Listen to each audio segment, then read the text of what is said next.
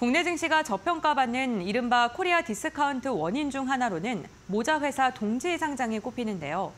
동시 상장이 기업 가치에 부정적인 영향을 미치면서 기존 주주들이 피해를 보는 경우가 많이 있었죠.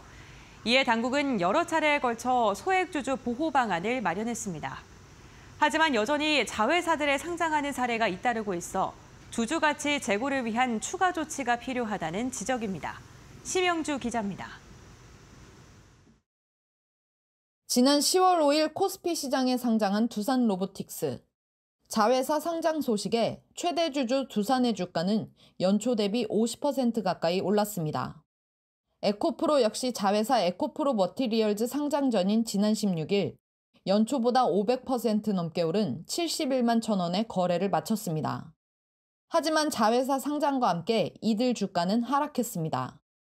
알짜 자회사가 상장하면서 모회사 주가가 낮게 평가되는 이른바 double counting에 따른 지주사 할인 현상입니다.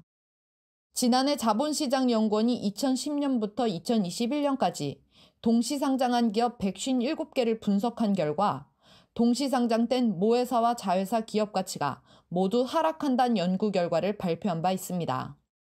동시 상장은 우리나라 증시만의 현상으로 해외에선 이 같은 사례가 극히 드뭅니다. 당국은 지난해 소액주주 보호 방안을 마련했지만 이를 비웃듯 자회사 상장은 잇따르고 있습니다.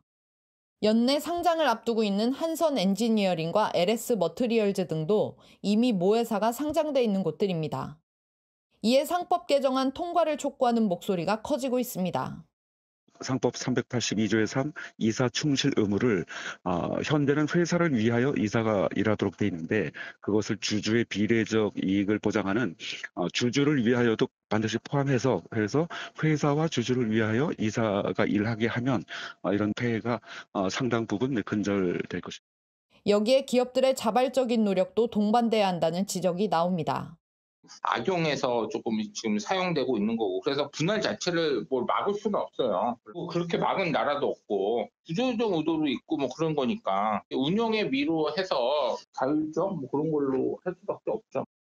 투자자 올리는 쪼개기 상장. 기업들의 자정 노력과 함께 금융당국의 적극적인 대응이 필요해 보입니다. 이데일리 TV 심영주입니다.